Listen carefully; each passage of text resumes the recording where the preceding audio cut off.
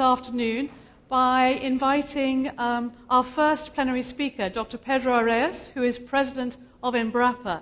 And he's going to start our theme for the afternoon, which is Science for a Food Secure Future. He will speak to science and technology, lessons from Brazilian agriculture, and Embrapa. So thank you very much, Dr. Arraes. Thank you very much. Uh, eu vou falar em português porque no Brasil, In né, Portuguese, vou falar devagar. I speak slowly for the interpreters can make their work. When Isabel was Isabel was so quick in speaking, it caused them some problems. então, é, 15 minutos, I have 15 minutes. It's going to be hard to show you all the situation. Then something very quick. There is a historical aspect. What's our agriculture? The bigger impacts and what we expect for the future. First, let's talk about historical aspects. The ones that are Brazilian know very well. We We have a demystification of our agriculture. That before the 70s we had a very small production, and today you have heard all the things we have heard today. Uh, In the 70s, everything was concentrated in south and southeast, and we had many problems for buying things. We had queues to buy black beans because the black bean was imported. Everything was important. menos de 40 anos. This is less than 40 years ago. And mainly there was a lack of knowledge. People didn't know about tropical agriculture. And there was a, a void, let's say, concerning research, education, markets, governmental agencies. Then the great challenge of the time law is was how to move from traditional agriculture to agriculture based on science and technology. It's very important to show you. Certainly, I have, don't have too much time, but it's very clear for you to see the Brazilian map. If you talk about soil, maybe one of the poorest. We have not so much fertility. The soils are poor. You see the bluer one is more fertility. You can see that our we don't have too much fertility in Brazil. It was really hard work. that was Uh, news in the economies not too long ago. The agriculture was a kind of miracle. And it's very important to say it's not a result of science and technology, but it's a result of a conjunction of important public policies since then that were also the institutional construction Embrapa, my company, certainly the tropical knowledge, knowledge about the tropical, and what we call about the gaucho. It was little entrepreneurs that came from Europe. They had been in Europe, they had come from Europe, and then they have to risk to try a new life. There were people that knew how to live in the field. Then this was a very important work, and also to say that Embrapa is part of all the institutions you have seen, and all the issue, what we call the organizations. And we always had, and as a whole, our system, we also are interested in the productive chains. We also have very good bond with these market chains, market nets. What's agriculture today? Today, certainly we depend on the numbers, but it's about 22% of our GDP, 37% of the labor, and 38% of the exportations. So the agriculture, besides being uh, a proud for us, it's very important for Brazil because for our development. Tem uma, uma série de coisas. And there are many things, I'm going to speak very quickly, many advantages we have now. We have no tillage practice. That was something that has begun with the producers, and the research has made it better. But many things we have done for the tropical agriculture. When I was a teen, and you all we only used it to have apple and grapes in Christmas time. But today we export apples. We have tropicalized, as I say, many of our cultures and many of the, the, the things we, that were just for a temperate or horticulture. Then we had many advances. We had to talk about the no-tillage practice, also uh, Cerrado agriculture. It was really a revolution, a green revolution, biological control, and the fixation, the nitrogen fixation, and also about carbon. We have and many things concerning genetics and par- partnership between public and private companies, plants, animals. All the tropicalization of the genetics we had in spirit, it was really important. And also all the production systems that uh, are very, very concerning the temperature time.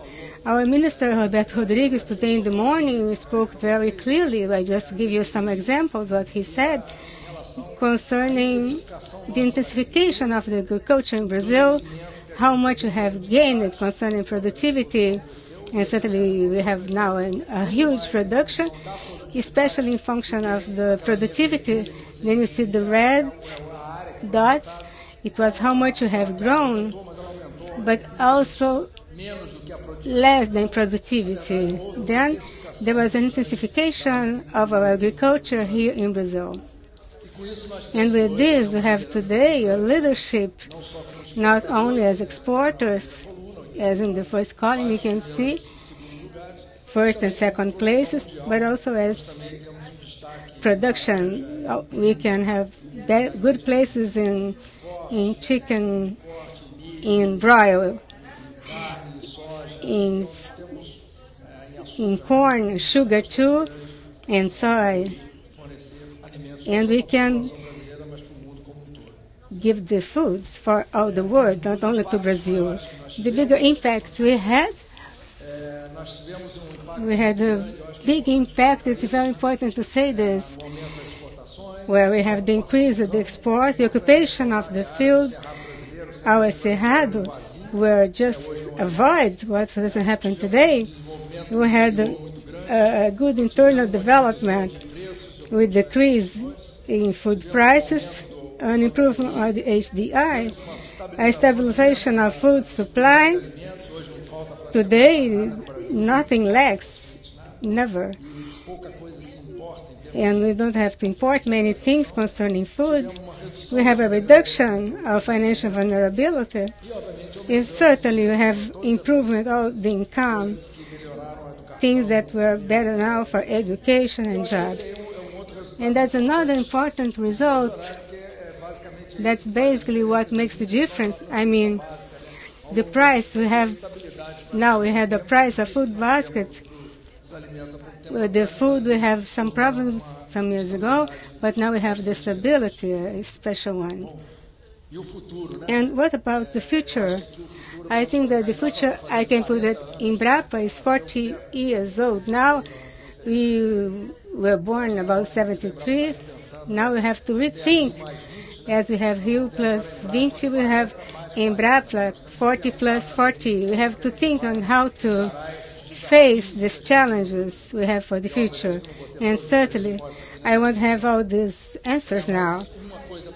But it's very clear, as we see at OCDE, is that Brazil, we're going to need more food and our country can help with 40% of this increasing of the necessary food for the world. Then we really have to, to play this game in order to feed the world. We are here in a conference, we have much to do with environment. Then Isabella has also the minister. We have a total area, how much we have in production, how much we have as uh, Brazil that has preserved land.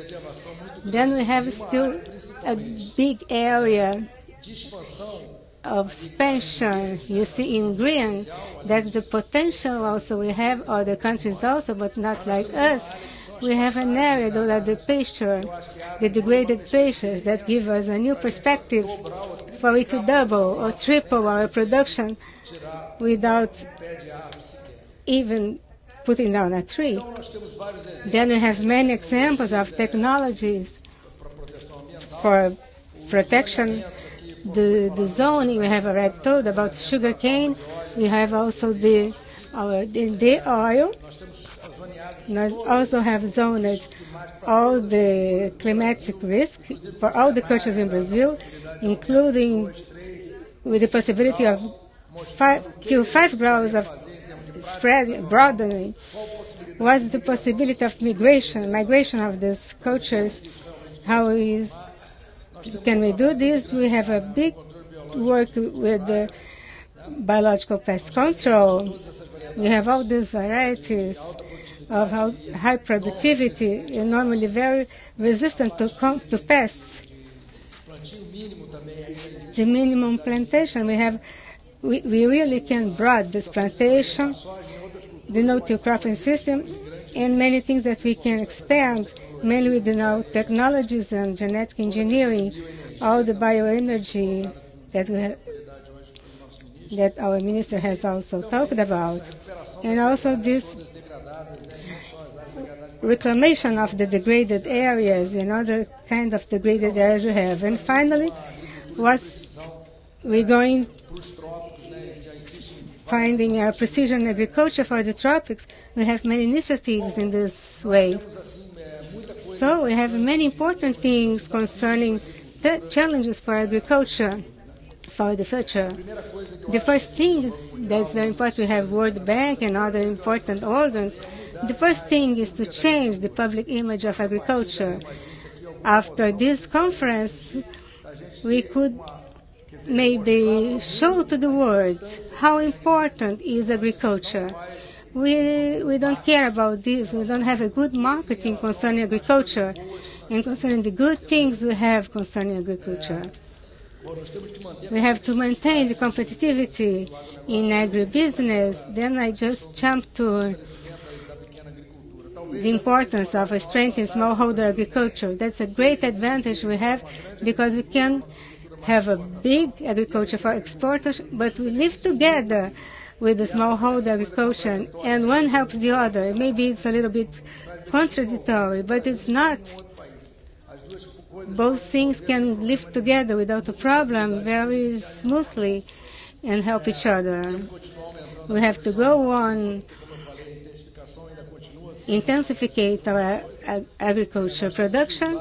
We have to use those areas, outright areas, and also Brazil and maybe all the BRICS. We have a new model, a new dialogue, north, south, south. We have all the conditions of giving some of our experiences. Maybe making, they cannot be directly adapted, but they can teach something to the other countries that have the same kind of soil, climate, and problems, and maybe a culture of the same thing. We cannot forget the subsidies, including because of the world, the world crisis. We cannot just think it's not happening, but we have to attack this because it's a problem. Maybe some of the subsidies may be just linked to carbon sequestration, other kind of agriculture. And I do believe that that the greener agriculture is different. Why not blue? Why not red or yellow? But that's more sustainable agriculture is something that's necessary, mandatory. And we the hope that in this reunion, this Rio Plus Beans, some of the pillars can help us to get to this. We have too much to show about this. Thank you.